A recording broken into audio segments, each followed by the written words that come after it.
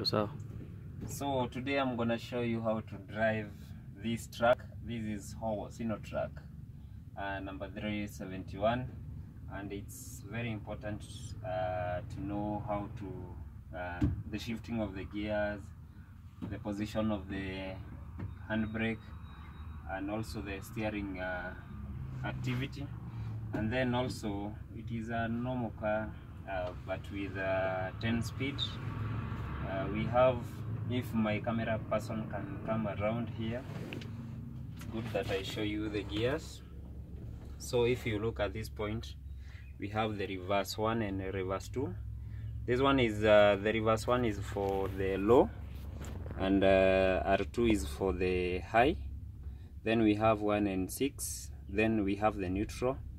Then all these gears uh, they resolve at the neutral they resolve at the neutral. So if you want to shift from number two to number three you must resolve at neutral then you move to number three. So the white and the black the white represents the the high gears and the black represents the low gears. So this simply because this uh, truck is a very powerful track mostly if you are on a flat surface uh, balancing it's good that you start with number two on low or number three. And if you look at this point if my cameraman can focus this point we have this it's called a splinter. So whenever you are shifting on to higher gears so you press up the splinter. If you are on the low gears you you press down. That is how it's supposed to do. So if you are driving this truck Howo 371 the first thing to ensure is that uh, the truck is the gear is on a neutral point.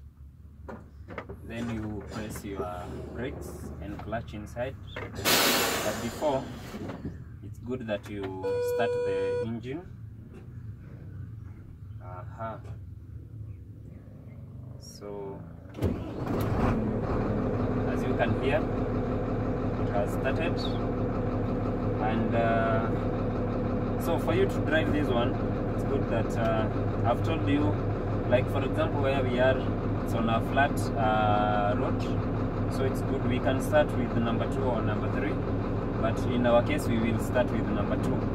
So you press your brake and your clutch inside. Then you put number two.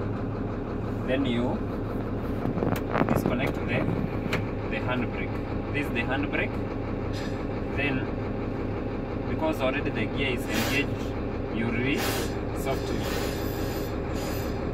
the engine will start moving and as you can see the engine is moving. Press a little bit of uh, the fuel that way the engine will start moving as you can see.